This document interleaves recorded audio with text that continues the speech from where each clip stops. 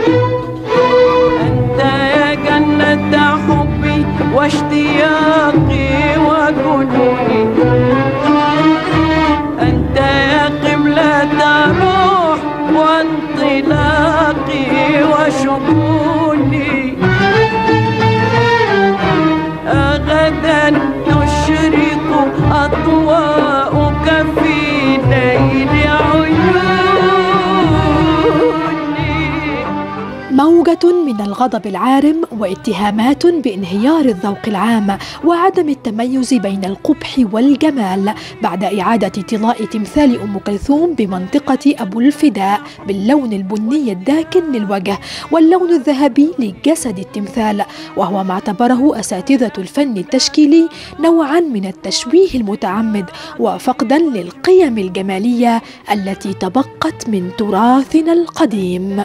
ده تشويه حقيقي ولا يصح. يجب مساءلة آه، الحي أو المسؤول عن ما حدث. مش بس أم كلثوم على أم كلثوم وكافة ال- المنحوتات أو التماثيل اللي تم تنفيذها وإقامتها أو نصبها في معظم الميادين مصر. الموضوع مش مجرد تشويه تمثال أو آه عملية يعني نوع من ال- التجميل الغير آه أكاديمي ومش على أسس علمية فبيؤدي في الآخر إلى آه فوضى بصرية وده له انعكاسه على الوجه الحضاري لبلدنا. متسبب الجهل التدني لمستوى التعليم الثقافة و- وخوائها من مضمونها. ده كله بيؤدي إن لما بيحصل تشويه من قبل أي حد غير متخصص إحنا كفنانين ما بنلاقيش حاضنة شعبية لينا إحنا وللذوق ولحماية الذوق العام. اللي موجود ده على الطبيعة ها؟ عملية ترميم لسه ما انتهاش. فإحنا لسه في مرحلة الرخام ومرحلة ال- البلاط ها؟ لسه ما اللي فوق ده معجنة. وهو لو كان نهائي ما كان جه رئيس الحي أو المحافظ فتحه. تقريبا في كونسبت بتاع إن إحنا لو دهنا الشيء أكيد هيبقى أحلى. بس آه، لأ مش ده يعني يا تعمله كويس يا ما تعملوش خالص. سيبه زي ما هو هيبقى أكيد أحلى يعني. هو أكيد كان أحلى. واللي حصل في التمثال قريب جدا للي حصل للماسك بتاع توت عنخ امون إن هو نقاش يعني يشتغل عليه يعني وده شيء مش مش حلو لا للتراث ولا لشكل البلد العام.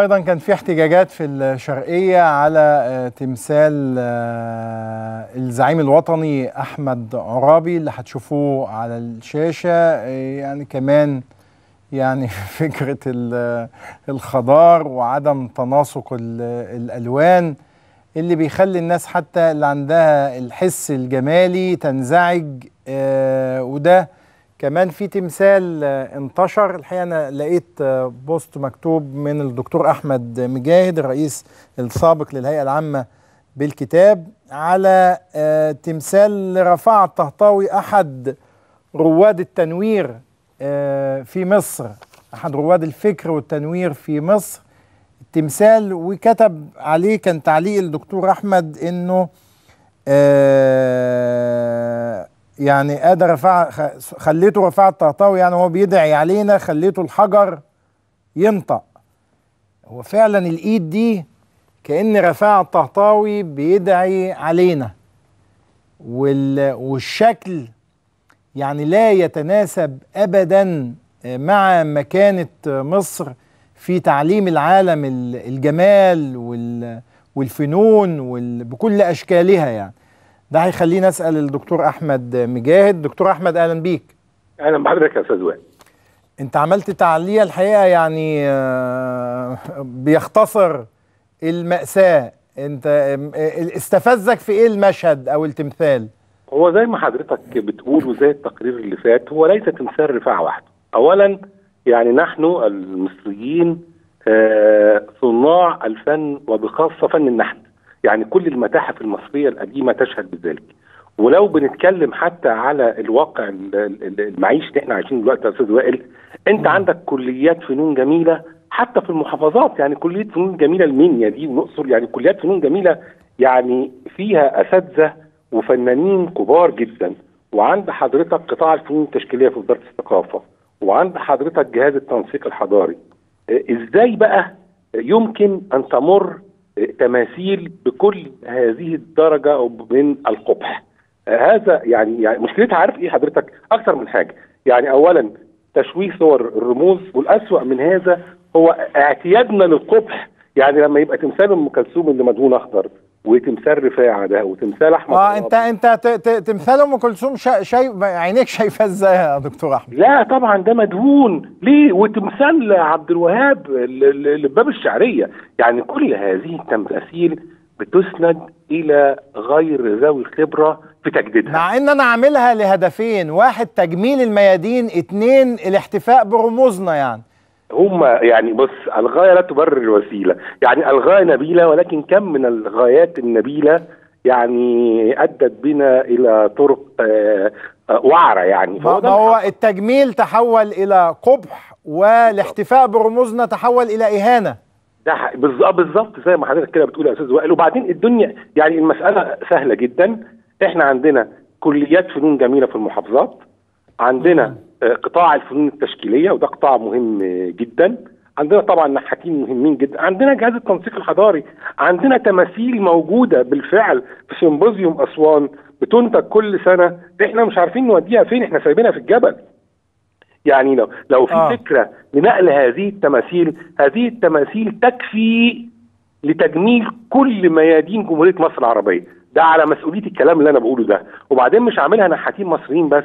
نحاتين آه. مصريين وأجانب بيتم استضافتهم في هذا السيمبوزيوم من سنوات طويلة وكلهم موجودين في الجبل في أسوان شيء عظيم جدا إن هم موجودين هناك ولكن المفروض إن هذا وجود مؤقت علشان ننقلهم فكرة إن إحنا آه، نعمل تماثيل لرموزنا هذا احتفاء عظيم جدا وكم مشروع موجود في هيئة قصور الثقافة إن إحنا نحتفي بهؤلاء الرموز ونعمل لهم تماثيل. ولكن ال- الهدف الرئيسي من التماثيل أنه يصدر حاجتين.